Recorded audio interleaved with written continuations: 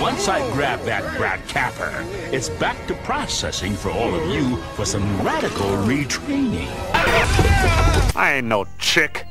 As Burin, sir. Ah.